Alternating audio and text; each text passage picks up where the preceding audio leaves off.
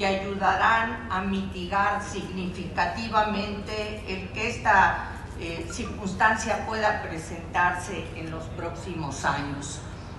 Y desde luego ante los daños que se han presentado aquí en San Juan del Río, en La Rueda, Los Nogales, Bosques de San Juan e incluso en otras colonias, es preciso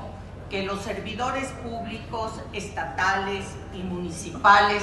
tengamos presente la responsabilidad que implica otorgar cambios de uso de suelo,